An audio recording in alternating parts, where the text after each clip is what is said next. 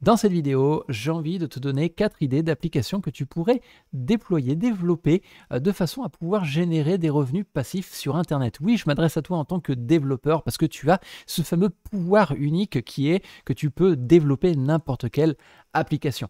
Et on va voir ces quatre idées d'application juste après, euh, eh bien tout simplement que tu te sois installé confortablement, tu te fais un petit café, d'accord?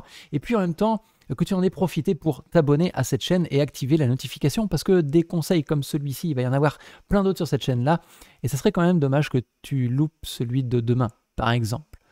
Enfin bref, voici le premier conseil, la première idée de business que tu pourrais euh, développer qui est basée sur un constat très très simple, c'est que l'année 2020 a été pourrie et que l'année 2021, euh, elle sent comme l'année 2020 en fait, tu vois et notamment pour les petits commerçants, pour les restaurateurs, pour tous ces commerces de proximité euh, qui ont une problématique euh, récurrente, c'est le confinement, déconfinement, reconfinement, déconfinement, etc. etc. Et donc euh, concrètement, tu pourrais très bien proposer ta propre plateforme qui mettrait leurs compétences, ou du moins leur petit commerce en ligne de façon, bah, tout simplement de façon à pouvoir proposer leurs propres produits. Alors ça peut se faire de différentes façons, ça peut se faire à partir de petits plats à emporter délicatement faits par le petit restaurateur du coin, ça peut être aussi tout simplement les petits commerces de vente d'habits par exemple, de textiles, tout ça, euh, qui pourraient vendre euh, simplement euh, leurs affaires, leurs produits par le biais de ta plateforme. Alors tu vas me dire, oui, mais il en existe déjà, tu as eu, je ne vais pas dire le nom, bref, tu as des grosses applications qui sont existantes. Oui, je suis d'accord avec toi, mais tu peux te différencier d'une façon un peu différente et sur un autre constat qui est assez simple, c'est que tout le monde n'est pas égal dans le secteur de l'informatique, notamment pour un restaurateur, pour, euh, je sais pas, un petit commerce X ou Y, c'est pas forcément facile pour lui d'être mis en avant euh, et de pouvoir mettre en avant ses propres produits ou tout simplement de pouvoir avoir un système qui permettrait de de, de, de, de, pousser ces différents produits sur une plateforme X ou Y. Pourquoi pas ne pas te différencier justement grâce à cette fameuse plateforme en proposant tes services d'intégration, par exemple, euh, en proposant euh, bah, tout simplement tes propres services qui vont aider ce fameux commerçant à intégrer ta plateforme. L'objectif, ce serait de jouer sur deux fronts. Le premier front, bah, c'est tout simplement l'accompagnement de ce fameux commerçant, de l'aider un petit peu à se mettre en avant sur ta plateforme. Et puis de l'autre côté, c'est de chouchouter l'utilisateur qui va consommer ton application pour aller chercher, je sais pas, son petit repas, sa petite pizza ou son petit chemisier euh, tendance pour euh, une soirée mm, qu'il ne vivra jamais parce qu'on est confiné. Voilà. Néanmoins, euh, ça, ça peut être une super idée à mettre en place. Et puis si on parle un petit peu de business model, alors tu peux imaginer plein de business models différents, soit prendre une commission sur bah, tout simplement sur les ventes ce qui est euh, peut-être euh, euh, qui peut être plus ou moins compliqué. Ça dépend si la personne paye directement par l'intermédiaire de ton application ou autrement ça peut être un abonnement forfaitaire de visibilité que tu vas proposer à ce commerçant-là. Tu peux être beaucoup plus large aussi, c'est proposer de la publicité pour mettre en avant ce fameux commerçant dans les différents moteurs de recherche de ton application. On peut imaginer plein de choses en termes de business model, donc je te laisserai voir tout ça. Éventuellement, si tu veux un épisode sur les business models que l'on peut mettre en place, comment est-ce qu'on peut les mettre en place, pourquoi et quand et comment et euh, quelles sont les bonnes pratiques à mettre en place. N'hésite pas à me le dire dans les commentaires.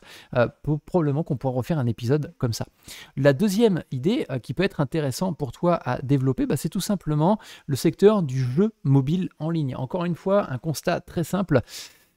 Comme il y a du confinement, il y a du temps euh, de cerveau disponible euh, à prendre. Tu vois, euh, concrètement, le mec qui est dans son malheureusement petit appartement nantais, parisien, je sais pas, on peut imaginer où on veut en France, eh bien concrètement, s'il n'a que ça à faire, que jouer, eh bien tout simplement, peut-être que tu as ta place à prendre. Alors attention, il y a énormément de concurrence sur ce secteur-là. Néanmoins, je pense qu'on peut encore une fois se différencier par rapport aux autres euh, dans le secteur du jeu vidéo. Il y a des grosses sociétés qui réussissent très bien dans ce secteur-là et qui développent des jeux très régulièrement. Et ton objectif, ta mission, si tu l'acceptes dans ce secteur-là, c'est tout simplement de développer des jeux vidéo quasiment à la chaîne, des idées de jeux vidéo quasiment à la chaîne. Et euh, concrètement, tu as plein de petits patterns que tu vas commencer à mettre en place. Tu vas développer ton premier jeu, ça va te prendre peut-être 2-3 semaines. Et le deuxième jeu te prendra beaucoup moins longtemps parce que tu auras déjà euh, codé certaines parties de cette application-là. Et notamment, tu pourrais les intégrer dans les autres jeux vidéo et euh, bah, pouvoir euh, créer des jeux vidéo beaucoup plus rapidement et sur un rythme un peu plus soutenu. Donc là, l'idée, elle est très simple c'est de bah, tout simplement distraire les gens, c'est de leur permettre de jouer à ton ton, ton, ton, jeu mobile, par exemple, et en même temps de mettre en place un petit système de bah, tout simplement publicité sur, sur, sur l'application ou d'achat in-app si tu, vraiment tu veux aller un peu plus loin de façon à pouvoir bah, toucher un revenu un peu plus régulier. Ce qu'il faut savoir, c'est que sur des très très grosses plateformes, il, me semble que même il y a une rentabilité énorme que même si seulement 6% euh, des personnes viennent faire un achat in-app. Donc c'est quand même assez euh, conséquent. Alors tu prends euh, Candy Crush par exemple, qui est un jeu qui a été très connu et reconnu et, par son business model aussi. Et tu vas trouver plein d'articles sur Internet sur ce secteur-là. Et tu vois que la rentabilité, elle est quand même assez gigantesque à ce niveau-ci. Donc les jeux, les jeux, je pense que ça, concrètement, en fonction du contexte actuel, ça va être quelque chose de très intéressant pour toi à mettre en place. Un troisième, alors la, troisième et la quatrième idée très intéressantes parce qu'elles sont, elles, elles, sont en train de se mettre en place, ou du moins certaines sont déjà mises en place depuis un moment. Euh, notamment, la première idée, bah, c'est tout simplement euh, le fait de créer un réseau social dans une niche en particulier. Alors c'est ce que je suis en train de faire en ce moment, tu vois. Et tu vois, je te donne même l'idée. Bon, j'aurai toujours un peu plus d'avance sur toi si tu veux t'y mettre aujourd'hui. Peu importe, je m'en fiche. Mais euh, concrètement, l'idée c'est de créer un réseau social dans une niche en particulier. Je te laisserai choisir les niches. Mais il y a des niches qui sont comment dire, un peu plus juteuses que d'autres. Notamment, euh, c'est des niches assez coquines. Enfin bref. Et donc, euh, concrètement, de créer ton propre réseau social dans ce secteur-là, dans un secteur en particulier, dans lequel tu vas pouvoir un petit peu euh, eh bien, rentabiliser euh, justement cette, cette plateforme-là. Et on revient encore un petit peu à l'idée justement de l'espace, du temps disponible pour chacune des personnes, et c'est de venir consommer en fin de compte du contenu régulièrement. Alors, cette idée-là est très bien. Bien évidemment, il y a Facebook, il y a Instagram, il y a tous ces gros qui sont déjà en place, sachant que certains d'entre eux sont en perte de vitesse quand même, si tu le remarques petit peu, euh, et notamment qui sont peut-être boudés euh, par certaines autres personnes. Mais tu peux te différencier. D'ailleurs, euh, il y a un réseau social, je sais plus comment est-ce qu'il s'appelle, il doit s'appeler Vero ou un truc comme ça, qui a développé son propre réseau social qui fonctionne très bien. Il y a des milliers de téléchargements et d'installations qui ont été faites de cette application et qui est basé simplement sur une idée toute simple, c'est qu'il n'y a pas de il n'y a pas de data mining, il n'y a pas d'analytique ou quoi que ce soit derrière et que concrètement c'est un petit peu leur signature et ça permet à certaines personnes bah, tout simplement d'apprécier euh, ce concept-là, moyennant finance, parce que ce réseau social, par exemple, est payant. Tu dois euh, payer un truc comme, je ne sais plus, X euros par an. Donc tu peux très bien imaginer un modèle économique sur cette base-là. Comme on peut imaginer plein d'autres modèles économiques. Excuse-moi, euh, j'ai un petit, euh, et donc on peut imaginer plein d'autres, euh, plein d'autres systèmes économiques, modèles économiques comme la publicité, comme la régie publicitaire bien évidemment, mais encore une fois, là tu sors un petit peu du contexte de no tracking ou que ce soit. Euh, néanmoins, euh, tu peux imaginer plein de modèles économiques là-dessus, comme par exemple euh, l'achat de contenu un peu plus privilégié euh, dans ce secteur-là. Et un autre secteur, un quatrième point, une quatrième grande application que tu vas pouvoir mettre en place, bah, c'est tout simplement des plateformes de digitalisation de la formation. Et notamment, il y a, je pense, une très grosse niche à mettre en place à ce niveau-là.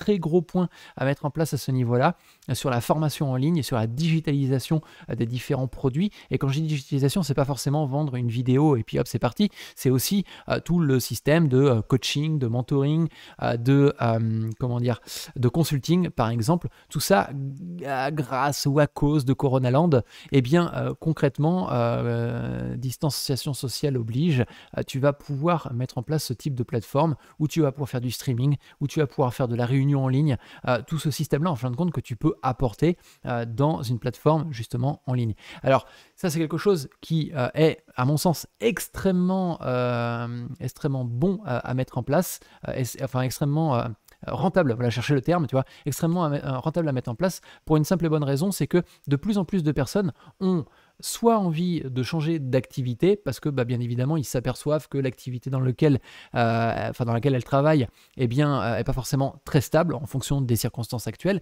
Et si tu regardes bien, bah, tout simplement, le secteur justement de l'auto-entrepreneuriat, il y a eu une forte augmentation justement de ce secteur-là, de ce secteur-là, de ce statut-là, pour l'année fin, fin 2020 et début 2021. Donc ça veut dire que concrètement, eh beaucoup de de personnes vont avoir besoin de formation ou potentiellement d'autres personnes vont avoir besoin de pouvoir former euh, euh, bah, d'autres personnes en échange. Et notamment bah, tout l'aspect euh, entrepreneurial, tout l'aspect par exemple bah, créer par exemple créer son petit site web sur je sais pas un Wix par exemple, on peut imaginer ça.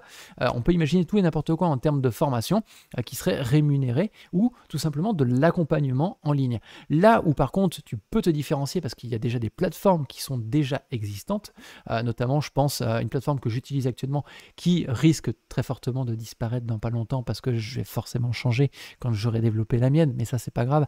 Euh, c'est euh, Podia. Podia est une plateforme qui te permet justement où tu peux retrouver toutes mes formations actuellement. Tu as un lien dans la description, je te laisserai regarder, tu cliques dessus, ça ouvre un onglet et tu peux continuer à regarder cette vidéo en même temps. Mais concrètement, eh bien, tout simplement, ces différentes plateformes qui permettent à des entrepreneurs ou des auto-entrepreneurs de pouvoir poster leurs formations en ligne, leurs différents fichiers en ligne, toi tu peux te différencier en allant beaucoup plus loin. C'est-à-dire que de proposer en plus de simplement le site de formation traditionnel où tu déposes tes fichiers et points barres, de pouvoir apporter un système, un principe, une technique euh, qui permettrait à chaque personne formateur de pouvoir accompagner beaucoup plus loin les différentes personnes euh, dans le cadre de leur propre formation. Un petit peu comme je le fais notamment avec mon système de devenir développeur pro encore une fois, tu as le lien dans la description, où je te donne la possibilité d'accéder à l'entièreté de mes formations par l'intermédiaire de Podia. Et en plus de Podia, je te donne